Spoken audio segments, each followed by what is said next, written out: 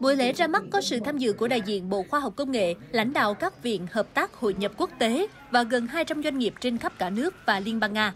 Tại sự kiện, tiến sĩ Vương Định Tuấn đánh giá cao sự ra đời của viện ESRI trong thời kỳ đổi mới và hội nhập. Ông cũng bày tỏ hy vọng sự kiện sẽ sớm quy tụ và tạo điều kiện bồi dưỡng, đào tạo các doanh nhân, doanh nghiệp, phát triển những tài năng của Việt Nam để phục vụ cho công cuộc xây dựng chiến lược phát triển doanh nghiệp ngày càng bền vững cũng như góp phần thúc đẩy sự phát triển của đất nước.